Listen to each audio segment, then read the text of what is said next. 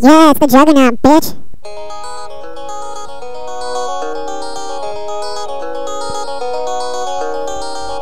Such a day.